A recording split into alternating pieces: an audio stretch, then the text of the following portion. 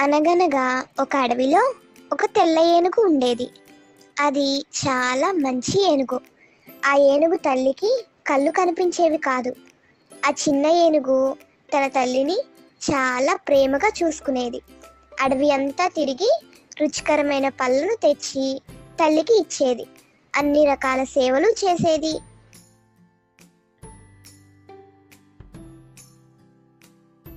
ఒకనాడు తెల్ల ఏనుగు ఆహారం కోసం వెళ్ళి పండ్లను కోస్తుంటే దానికి ఒక మనిషి ఏడుపు వినిపించింది. ఆ మనిషి దగ్గరకు వెళ్ళి ఎందుకు ఏడుస్తున్నావు? అని అడిగింది. అప్పుడు ఆ మనిషి మాట్లాడుతూ నేను అడవిలో దారి తప్పి ఇటుగా వచ్చాను. మూడు రోజులుగా వెతుకుతూ ఉన్నా. నాకు వెళ్ళాల్సిన దారి కనిపించడం లేదు అని అన్నాడు. ఆ ఏనుగు జాలిపడి సరే నేను దారి చూపిస్తాను. నా వెంటరా అని ఆ మనిషికి అడవిలో దారి చూపించి అతని గ్రామం దగ్గర వదిలిపెట్టింది. అతను ఊరికి వెళ్ళగానే అక్కడ రాజభటులు రాజుగారి ఏనుగు తప్పిపోయింది. రాజుగారికి యోగ్యమయ్యే మంచి ఏనుగును ఎవరైతే చూపిస్తారో వారికి బహుమతి ఇవ్వబడుతుంది అని ప్రకటించడం విన్నాడు. డబ్బుకు ఆశపడి తెల్ల ఏనుగు ఒకటి అడవిలో ఉంది అని సమాచారం ఇచ్చాడు రాజభటులు అడవికి వెళ్ళి ఆ తెల్ల ఏనుగును బంధించి రాజమందిరానికి తీసుకొచ్చారు. ఆ ఏనుగుకు ఎన్నో మర్యాదలు చేసి అలంకరించారు.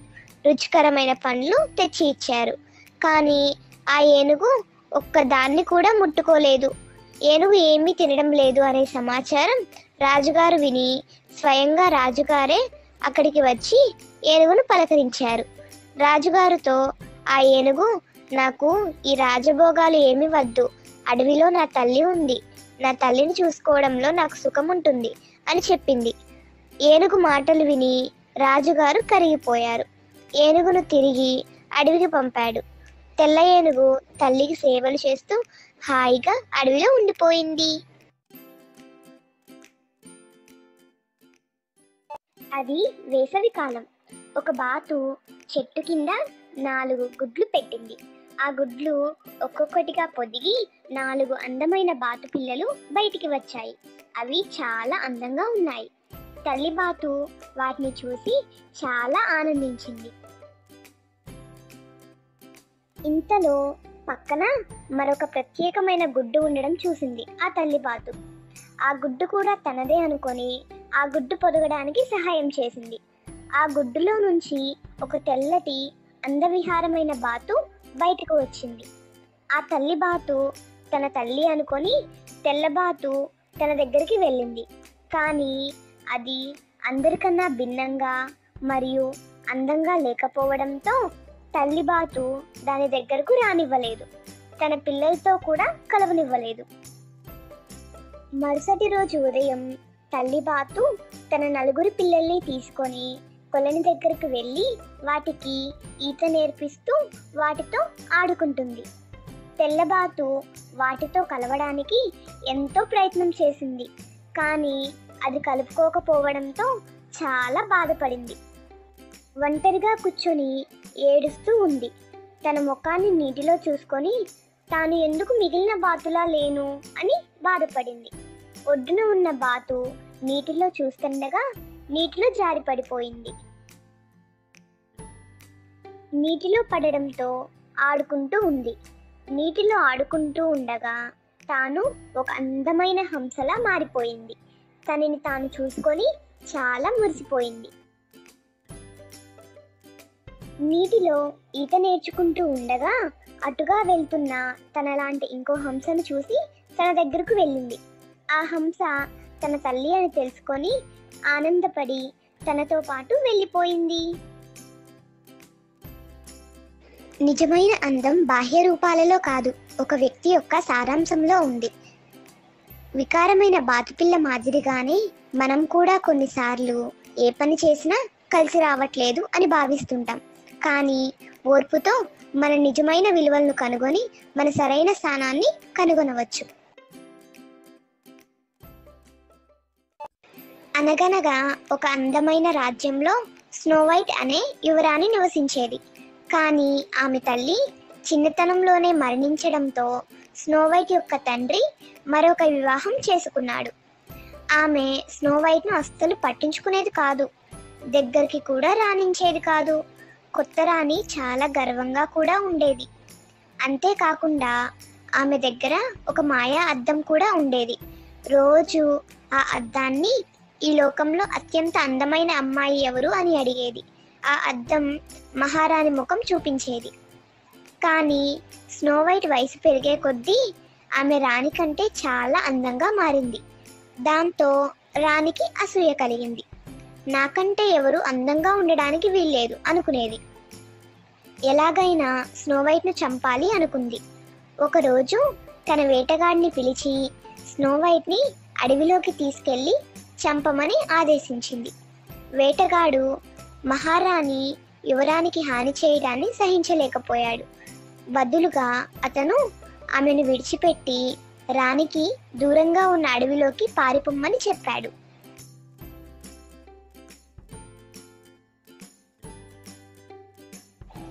స్నో వైట్ అడవిలోకి వెళ్తూ చెట్ల మధ్య దాగి ఉన్న ఒక చిన్న కుటీరంలోకి వెళ్ళింది.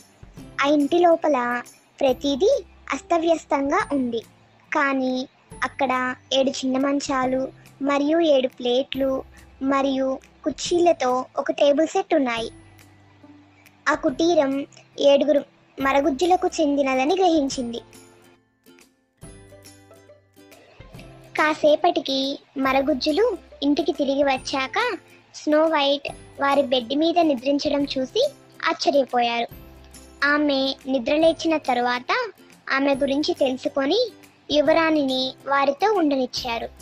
యువరాణి మరియు మరగుజ్జులు చాలా ఆనందంగా ఉన్నారు. కొన్ని రోజులు గడిచిన తరువాత మహారాణి మాయా అద్దాన్ని అడిగింది. ఈ లోకంలో అందమైన వాళ్ళు ఎవరు అని. మాయా అద్దం మళ్ళీ స్నో వైట్ పేరు చెప్పడంతో యువరాణి బతికే ఉందని అర్థమైంది. కోపంతో మారువేషంలో ఉండి కుటీరానికి వెళ్ళింది. ఎలాగైనా యువరాణిని చంపాలి అని ఆమెకు విషపూరితమైన ఒక యాపిల్ను ఇచ్చింది. ప్రమాదం గురించి తెలియని స్నో వైట్ దాన్ని తిని గాఢ నిద్రలోకి జారుకుంది. అలా యువరాణి గాఢ నిద్రలో ఉండగా అడవి గుండా వెళ్తున్న ఒక అందమైన యువరాజు నిద్రిస్తున్న యువరాణిని చూసి ఆమె అందానికి ముగ్ధుడై విషపూరితమైన యాపిల్ను ఛేదిస్తూ ఆమెను ఆప్యాయంగా ముద్దాడాడు. స్నోవైట్ కళ్ళు తెరిచింది. యువరాజు ఆమెను పెళ్ళి చేసుకున్నాడు. స్నోవైట్ మరియు యువరాజు సంతోషంగా జీవించారు. దయ మరియు కరుణతో రాజ్యాన్ని పాలించారు. అయితే దుష్టరాణి మాత్రం హృదయం నిండా అసూయ మరియు చేదుతో సంతోషంగా ఉండలేకపోయింది. ఒక అడవిలో కుందేలు మరియు తాబేలు నివసిస్తూ ఉండేవి. కుందేలు చాలా వేగంగా పరిగెడుతుంది. తాబేలు చాలా నిదానంగా నడుస్తుంది కానీ చాలా ఓపికగా ఉంటుంది. ఒకరోజు ఉదయం అడవిలో జంతువులంతా గుమికూడారు.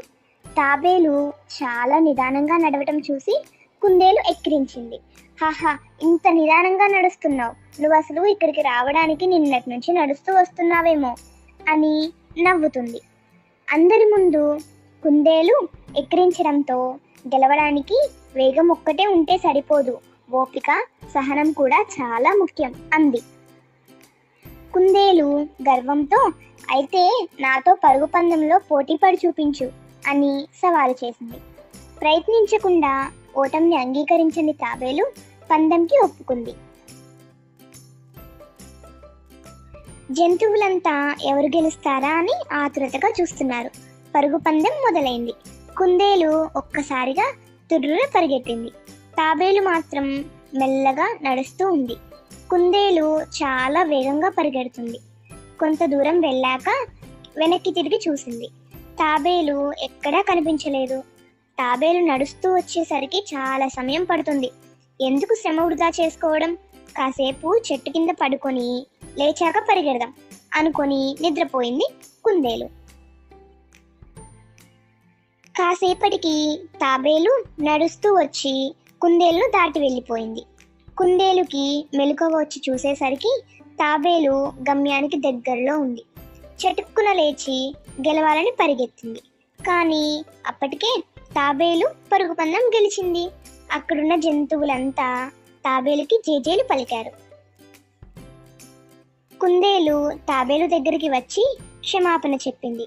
నేను నిన్ను తక్కువగా అంచనా వేసినందుకు క్షమించు మిత్రమా.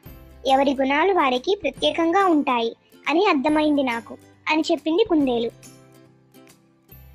అప్పటి నుంచి తాబేలు మరియు కుందేలు మంచి స్నేహితులుగా ఉన్నారు. ఇంకెప్పుడు కూడా కుందేలు తాబేలును కానీ మరియు ఏ ఇతర జంతువులను కానీ తక్కువ చేసి మాట్లాడలేదు.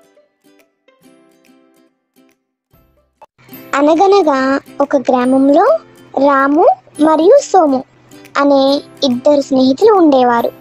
వాళ్ళకి ఉన్న ఊర్లో సరైన పని దొరక్క జీవనం ఇబ్బందిగా ఉండడంతో పని కోసం నగరానికి వచ్చారు. నగరంలో ఒక వ్యాపారిని కలిసి ఏదైనా పని ఇప్పించమని అడిగారు. ఆ వ్యాపారి వాళ్ళిద్దరి పనితనం ఎలా ఉంటుంది పరీక్షించాలి అనుకున్నాడు. వారిద్దరికి చెరొక బుట్ట ఇచ్చి ఇంటి వెనుక ఉన్న పెరడులోని బావిలో నీళ్ళు తోడి రాత్రంతా తోటకు నీరు పెట్టండి అని ఆదేశించాడు. బుట్టతో నీళ్ళు తోడడం ఏమిటి? తెలివి తక్కువ పని కాకపోతే అనుకొని సోము నిద్రపోయాడు. రాము మాత్రం వ్యాపారి ఇలా చెప్పాడు అంటే ఏదో అర్థం ఉంది అనుకొని బావి దగ్గరకు వెళ్ళి నీళ్ళు తోడడం మొదలుపెట్టాడు. కొన్ని గంటలు నీళ్ళు తోడిన తరువాత నీళ్ళ బుట్టలోకి బంగారు నాణాలు వచ్చాయి. రాము వాటిని చూసి చాలా ఆశ్చర్యపోయాడు. వెంటనే వ్యాపారిని పిలిచి బుట్టలో బంగారు నాణాలు వచ్చాయి అని చెప్పి వాటిని వ్యాపారికి ఇచ్చాడు. రాము ప్రయత్నానికి మంచితనానికి మెచ్చి బహుమతితో పాటు ఉద్యోగం కూడా ఇచ్చాడు ఆ వ్యాపారి. సోము మాత్రం పని దొరక్క సిగ్గుపడి తన ఊరికి తిరిగి వెళ్ళిపోయాడు. అందుకే అంటారేమో పెద్దలు కష్టానికి తగ్గ ప్రతిఫలం ఎప్పటికైనా దొరుకుతుంది అని.